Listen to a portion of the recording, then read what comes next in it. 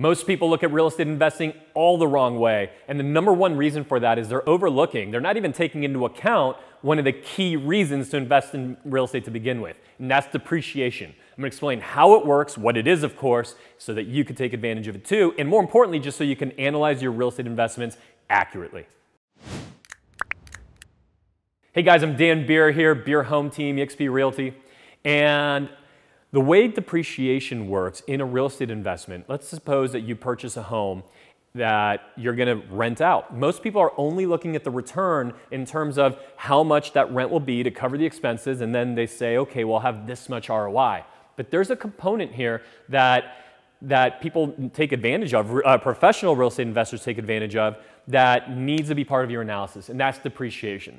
The way it works is when you purchase a property, there's a certain amount of that that is allocated to, uh, by the government to the structure. Okay, so a certain amount of the value, think in the 50 to 60% range, typically here in San Diego, would be allocated to the structure, and then the rest of that, say 40 or so percent, to the land. Well, you can't depreciate land, and there's no tax benefit there, but the structure itself is a depreciating asset in, in the eyes of the IRS, even though amazingly, we all know real estate is an appreciating asset. And that's where you get these two amazing benefits. You have an appreciating asset that the government literally lets you write off in, in, in what they call depreciation. So for a residential property, it's 26 and a half years. You take the value of the property, the structure uh, part of it, you take the value of the structure, and you get to divide that value by 26 and a half years. So say it's an $800,000 property, just to throw a number out there get to divide that by 26 and a half years. Now, here's the beauty. It's going to create a return. It's going to create, right, it's going to create income for you. And even in this market, we can absolutely find property, it's abundant, that creates income. Well, that income will essentially be tax-free, or I should say tax deferred. And look, circle back with your CPA just, to, just so that you get really clear on all this. And of course, we're happy to talk, talk with you here and run some scenarios but that income is essentially uh, protected by the depreciation because the depreciation that this property kicks off will be covered or will cover the income. So when you're looking at your returns and thinking, hey, I get a 6% return or a 7% return, the reality is, is that it could be as much as 30 or 40% more than that because you're not having to pay the tax on it. Now, of course, when you go to sell the property, you'll catch up on that depreciation. That's a more involved conversation, which we're happy to have with you.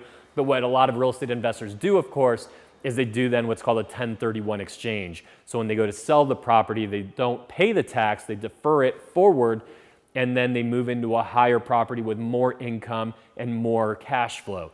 These are the concepts why sometimes, and this isn't a political post by any means, but this is why you know you hear about people in the news or politicians or whoever might be that aren't paying as much tax as some people think they might or should be pay or we would assume they would pay that's because they are very rich in depreciation. They have a lot of real estate, that real estate protects their income.